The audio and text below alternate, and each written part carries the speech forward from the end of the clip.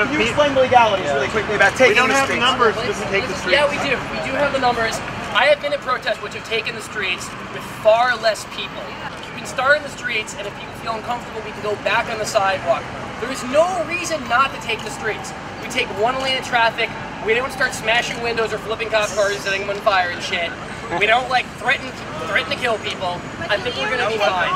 This is this is I well okay. We're trying to get the consensus process right. I understand, but if you don't start willing to actually put your body in the line and slow things down, it's going to be a serious problem for actually ever getting anywhere.